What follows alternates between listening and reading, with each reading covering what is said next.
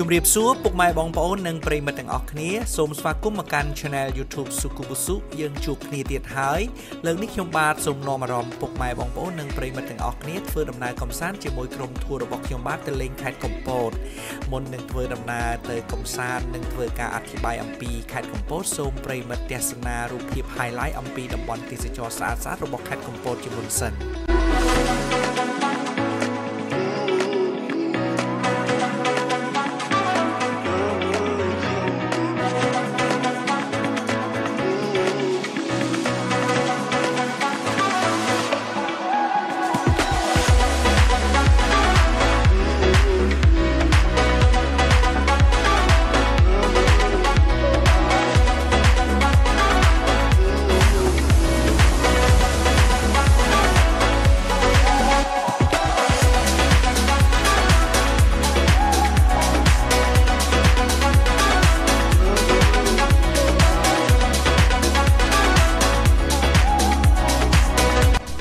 ប្រិយមិត្តទាំងអស់ជាទីមេត្រីនៅក្នុងទីរួមខេត្តកំពតមានសំណង់ស្ថាបត្យកម្មអាណានិគមនិយមបារាំងដែលបន្សល់ទុកមុខជាច្រើនហើយសំណង់ទាំងនេះក៏ជាចំណែកមួយក្នុងការតាក់ទាញភ្ញៀវទេសចរជាតិនិងអន្តរជាតិឲ្យមកទស្សនាខេត្តកំពតហើយនេះគឺជារូបសំណាក់ទុរេនដ៏ធំដែលនៅកណ្ដាលរង្វង់មូលក្នុងទីរួមខេត្តកំពតហើយប្រិមិត្តពិតជាដឹងហើយថាផល្លានុផលនិងផ្លែឈើដ៏ល្បីបំផុតរបស់ខេត្តកំពតគឺទុរេននិងមង្ឃុត ដូច្នេះហើយបានជាខេត្តនេះធ្វើរូបសំណាក់ទុរេនដ៏ធំដើម្បីជានិមិត្តរូបនៃខេត្តនេះ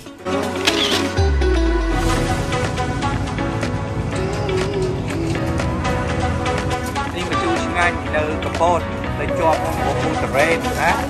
អ្វីឯងមកជួហ្នឹងថៃនេះឡហើយនេះថាអ្នកមួយរួចទេបែរនេះ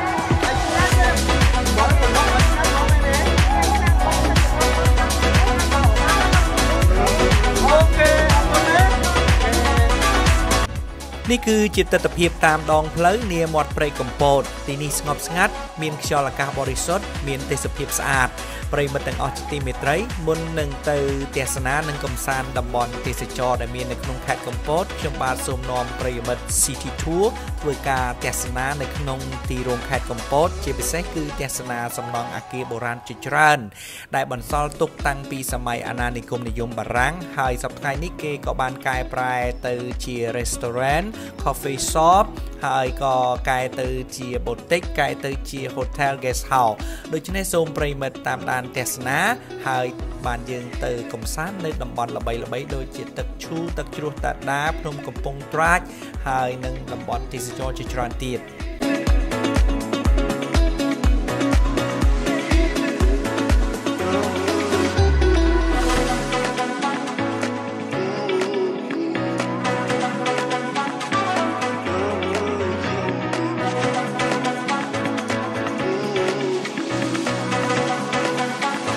When I was young, I listened to the radio, waiting for my favorite songs. When they prayed, I sing. ។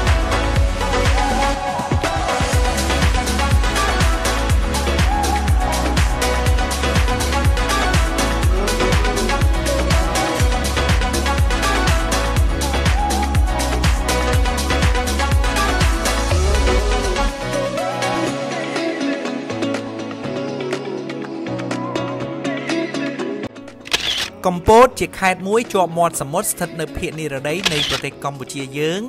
ខេត្តកំពតមានផ្ទៃដីសរុប4873គីឡូម៉ែត្រការ៉េនិងមានប្រជាជនរស់នៅជាង63ម៉ឺននាក់ ហើយកំពតមានចម្ងាយ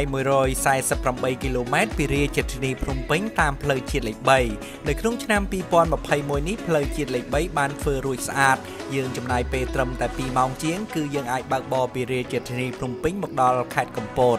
ទោះបីជាផ្លូវស្អាតយ៉ាងណាក៏សូមអំពាវនាវដល់ពុកម៉ែបងប្អូននិងប្រិយមិត្តទាំងអស់គ្នាបើកបរដោយប្រុងប្រយ័ត្នបើកបរប្រកាន់ស្ដាំរួមគ្នាគោរពច្បាប់ចរាចរណ៍ទាំងអស់គ្នា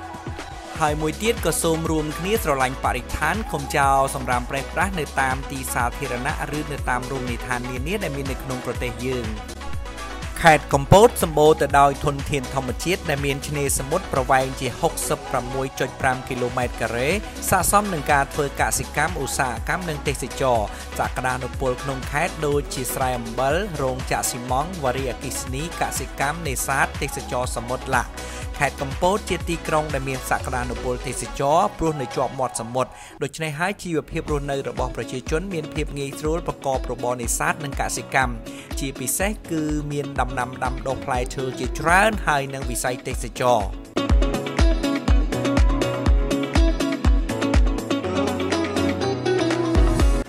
កំពតសពថ្ងៃកំពុងតែអភិវឌ្ឍទៅជាទីក្រុងទេសចរវប្បធម៌និងធម្មជាតិដែលមានរួមទាំងភ្នំបូកគោទឹកឈូទឹកជ្រោះពពកវិលជ្រោះជ្រងដងអូភ្នំកំពង់ត្រាចភ្នំវល្លិនិងភ្នំដតីទៀតជាពិសេសគឺតំបន់ទេសចរធម្មជាតិតាមមាត់ព្រៃកំពតមានបាំងកាឡូមានរីសតមានបូទិកមានសន្តាគារជាច្រើនដែលទើបនឹងបង្កើតថ្មីដើម្បីទាក់ទាញភ្ញៀវទេសចរឲ្យមកសម្រាកលំហែនៅក្នុងខេត្តនេះកាន់តែច្រើន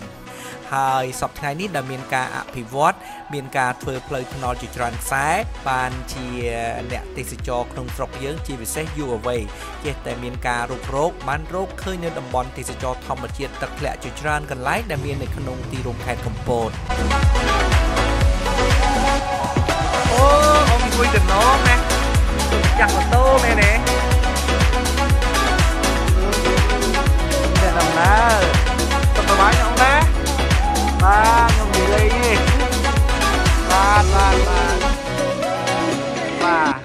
ប្រិយមិត្តទាំងអស់ជាទីមេត្រីសូមចូលទៅទស្សនាខាងក្នុង នៃសំណង់អាគារបារាំងដ៏ស្រស់ស្អាតមួយនេះដែលម្ចាស់ហាងគាត់បានតុបតែងលម្អទៅជា coffee shop ទៅជា restaurant ជាពិសេសគឺគាត់នៅរក្សាទ្រង់ទ្រាយដើមទាំងស្រុងសូមប្រិយមិត្តចូលទៅទស្សនាជាមួយខ្ញុំបាទទាំងអស់គ្នា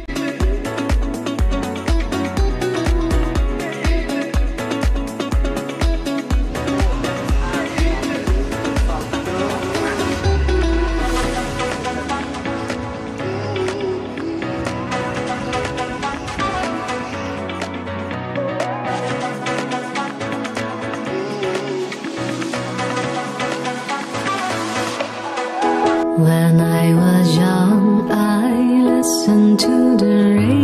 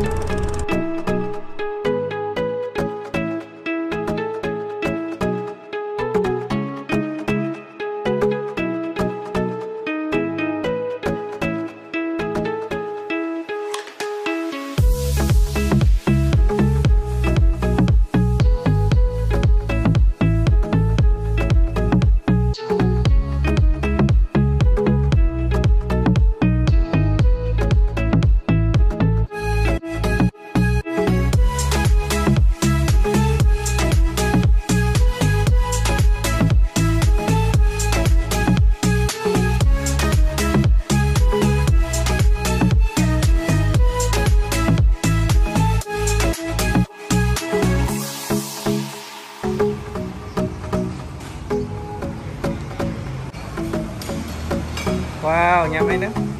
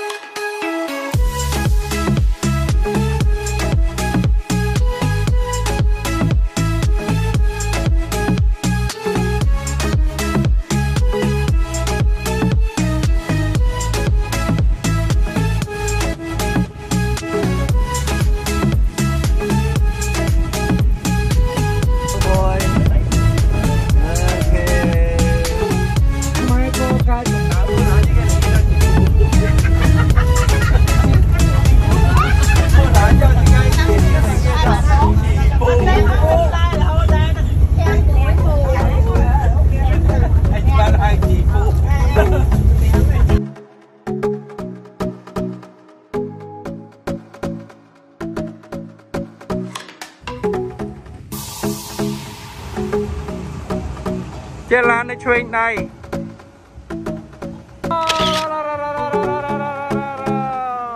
ទីនេះគឺទឹកជ្រោះតាតាអូខេខំញ៉ាំញ៉ាំពាក់មកខំញ៉ាំអូខេបាទអរគុណច្រើន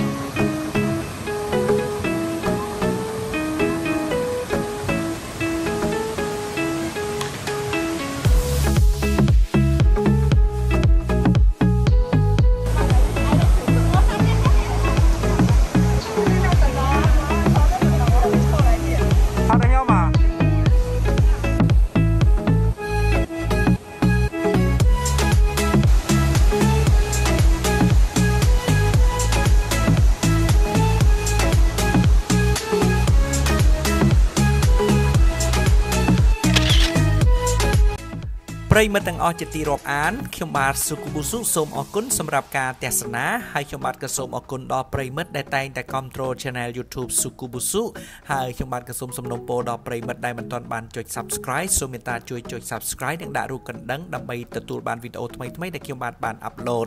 ហើយនៅក្នុងវីដេអូនេះបើសិនជាមានទាស់ខុសត្រង់ណាក៏សូមខន្តីអភ័យទោសហើយបើសិនជាប្រិមិត្តមានចម្ងល់អំពីការធ្វើដំណើរមកកាន់ទីនេះឬក៏ទីណាក្តីដែលមាននៅក្នុងវីដេអូខ្ញុំបាទប្រិមិត្តអាច comment សួរឬក៏ឆាតឬក៏ call មកខ្ញុំបាទតាមរយៈលេខទូរស័ព្ទដែលមាននៅក្នុងវីដេអូនេះខ្ញុំបាទរីករាយនឹងឆ្លើយនៅអ្វីដែលខ្ញុំបាទបានដឹងនៅពេលនេះខ្ញុំបាទក៏សូមជម្រាបលាសូមជូនពរប្រិមិត្តម្ដងទៀតឲ្យមានសុខភាពល្អរោគទទួលទានមានបានធ្វើដំណើរទៅណាមកណាជួបតែសុខសុវត្ថិភាពសូមសន្យាជួបគ្នានៅវីដេអូក្រោយៗទៀត